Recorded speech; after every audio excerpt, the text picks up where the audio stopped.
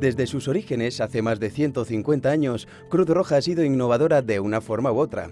Hoy continúa en esa búsqueda de soluciones y herramientas que hagan la vida más fácil a las personas, apoyándose en todo el potencial que ofrecen las tecnologías de la información y la comunicación. Los servicios eh, que están vinculados o que usan las tecnologías de la información y comunicación como herramientas son muy, muy diversos.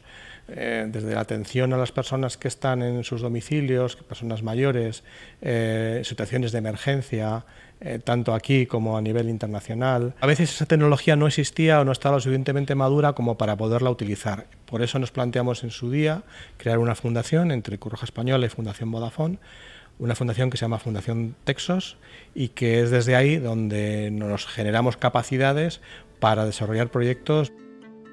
Uno de estos servicios es la teleasistencia.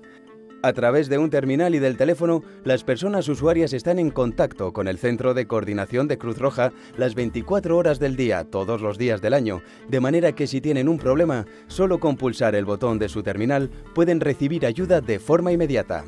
Casi 122.500 personas fueron atendidas el año pasado por este servicio. Están siempre pendientes, que no es una asistencia que dijeran, bueno, te llaman hoy dentro de cuatro o cinco días o la semana siguiente te vuelven a llamar. No, no, están, sabemos que todas las semanas, todas las semanas nos llaman. Otros servicios en los que la tecnología es fundamental son los que se basan en la videoconferencia. Las personas mayores pueden mantener un contacto habitual con sus amigos, familiares y cuidadores o con nuestros centros de coordinación y además recibir información multimedia sobre hábitos saludables o realizar ejercicios para ejercitar la mente. Para las personas con trastornos cognitivos como el Alzheimer, la organización ofrece el localizador de personas LOPE. Este servicio utiliza un terminal móvil que permite conocer la ubicación y los movimientos de sus portadores en caso de que se pierdan o se desorienten. Más de 1.600 personas se beneficiaron de este servicio en 2015. Para mí es muy importante, porque yo respiro. Cuando él se va, respiro, porque sé que le estoy viendo. Las mujeres que sufren violencia de género pueden ver agravada su situación por el sentimiento de soledad e incomprensión que a veces les acompaña. El servicio a Tempro permite combinar el acompañamiento y la protección de estas mujeres las 24 horas del día.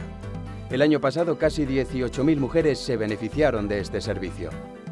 El servicio a Tempro no sería posible sin el uso de las tecnologías de la comunicación y de la información, dado que por un lado apoya a las mujeres a sentirse más independientes y por otro lado nos ayuda a hacer un seguimiento pormenorizado de cada uno de los casos. Gracias al uso de la tecnología, Cruz Roja favorece la vida independiente y la autonomía personal de los colectivos vulnerables y mejora día a día el servicio que presta a los mismos.